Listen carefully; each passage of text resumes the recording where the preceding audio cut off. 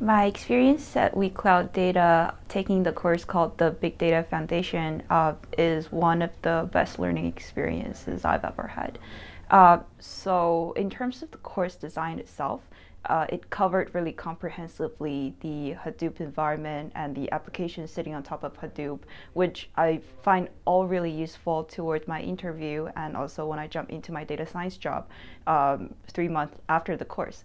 Uh, also, I find uh, I got really uh, nice labs and projects that I could put onto my resume and help me building my personal portfolio that I showcase to my uh, manager later for my interview as well um, I find the support in the community is great. Um, I attended a lot of meetups um, and met a lot of people, uh, networked really well.